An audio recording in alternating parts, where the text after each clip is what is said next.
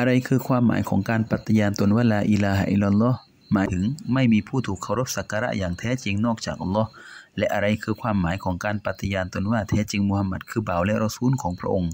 หมายถึงแท้จริงท่านนั้นเป็นบ่าวที่ไม่ถูกเคารพสักการะและเป็นรอซูลที่จะไม่ถูกปฏิเสธ